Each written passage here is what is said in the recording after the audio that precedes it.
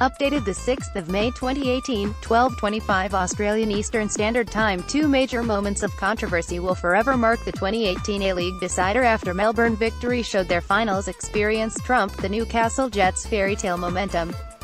The victory, true to their name, triumph 1-0 to burst the Jets' balloon and claim a fourth A-League championship, and second for coach Kevin Muscat. But that 1-0 result only tells a small part of the story. The clean sheet is the more obvious bit, and it came about thanks to some incredible goalkeeping heroics from victory stopper Lawrence Thomas.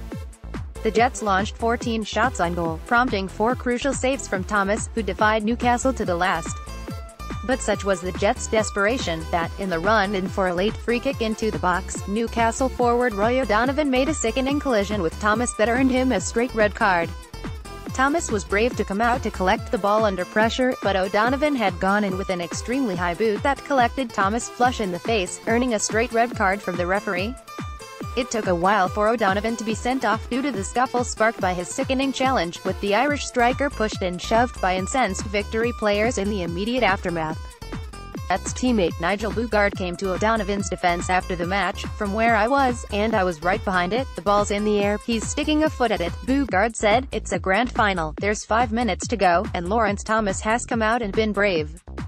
To be honest I would have stuck a foot at it.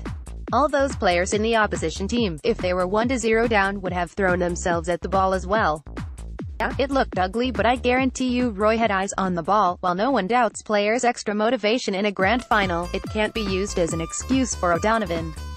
In the first half, Newcastle's Riley McGree unleashed a sizzling left-footer, save down low to Thomas's left before Thomas reacted incredibly to keep out Jason Hoffman on the follow-up from point-blank range.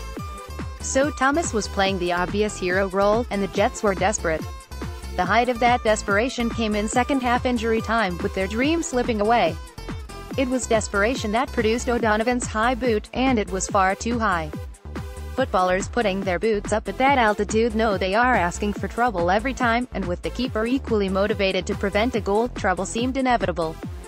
The A-League's match review panel will meet on Monday to decide O'Donovan's fate, and there is unlikely to be much sympathy for a player with a history of recklessness. It is O'Donovan's second red of the season, after his hit on Sydney FC's Geordie Burgess in March while he was handed an eight-week suspension in 2016 for a headbutt on the Phoenix's Manny Muscat. What's the point of VAR? The video assistant referee, VAR, is losing more and more friends, even at the final hurdle of its international trial in the A-League. Intended to eliminate refereeing howlers from the game, VAR seems to be folding in another element of human error to proceedings, as evidenced by a glaring offside in the only goal of the game.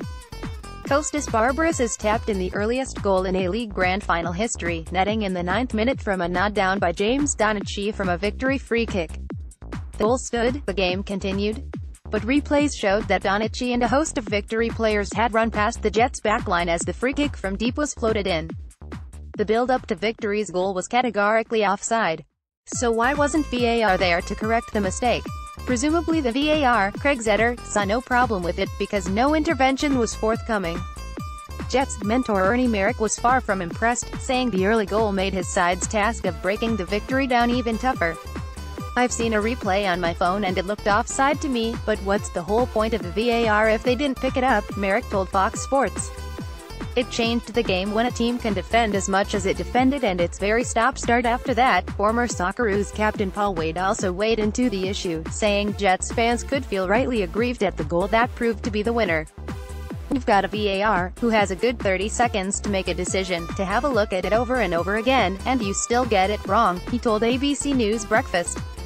Despite the slew of teething problems with VAR encountered in the A-League, we'll be seeing it fully implemented at the FIFA World Cup in Russia, while more domestic leagues take up the technology.